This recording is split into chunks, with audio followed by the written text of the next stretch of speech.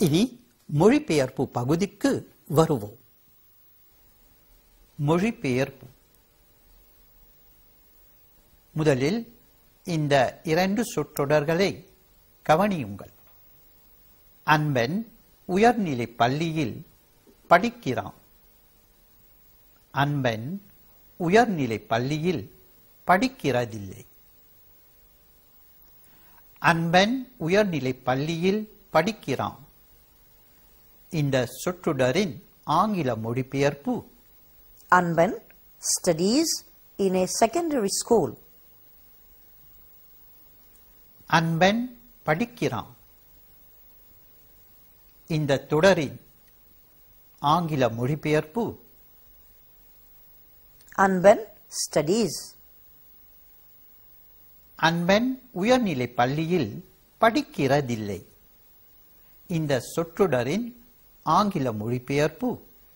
Anban does not study in a secondary school.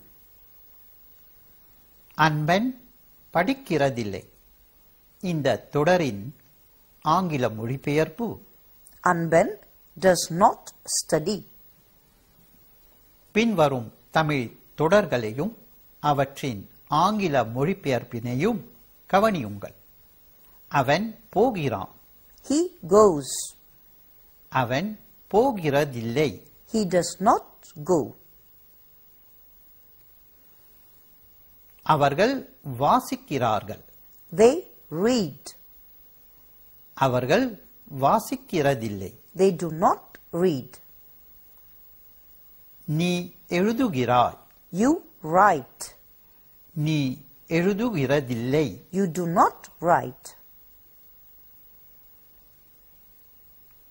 இனி வருவது ஒரு பயிற்சி பின்வரும் சொற்றொடர்களை தமிழில் மொழிபெயர்க்கவும் Valli does not eat rice. Valli சோறு சாப்பிடுகிறதில்லை He does not drink milk. அவன் பால் குடிக்கிறதில்லை. இனி வரும் தொடர்களை ஆங்கிலத்தில் மொழிபெயர்க்கவும். மாணவர்கள் வகுப்பில் பேசுகிறதில்லை.